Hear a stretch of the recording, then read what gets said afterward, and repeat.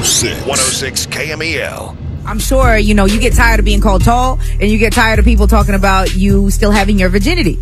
I don't really get tired of it. It's something that comes with both gifts. Right. To me, they're both blessings. True. So, so I don't really get tired of it, but it's definitely something that occurs on a daily basis I'm sure. in both areas. So- Absolutely. And the show was pretty amazing. And they're actually looking at giving her a series Nice. for this because it is an extraordinary Fingers lifestyle, crossed. right? Fingers crossed. Now, your basis for the virginity part. I mean, obviously, your mother had a lot to do with how you look at sex and that whole relationship. My mom had a lot to do with it. She told me that it was a choice Right. that I could make. She never forced me to be a virgin. She never said that's what you have to do.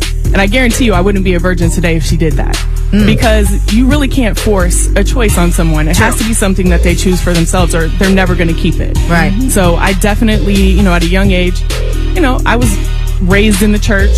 Um, I'm a Christian, Mm-hmm. strong Christian, so that definitely played a huge part in it. But my mom early on told me it was a choice, and it's something that I continue to choose today. That's amazing. And you're waiting until you, you know, commit yourself to somebody for a lifetime. Yes, I am waiting for my husband. That is Wow. what I'm doing. Wow is right. He will be a very blessed and lucky man.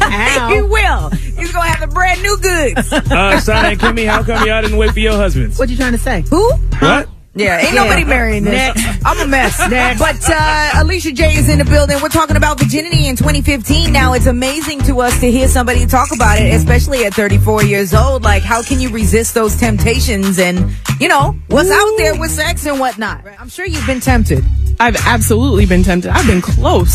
there are many times where. How close are know, we talking? I'm very Hey, close. hey, bruh. very, very close. Hey, man, I mean, it's a real but question. but it's true. I mean, look, I'm a virgin, but you know, I have wants and needs just like everybody else. Right. So at the end of the day, I have really been close, like I said, but. It, I always stop it because I know at the end of the day that You're I gonna do want to regret it. save it. Right. You know.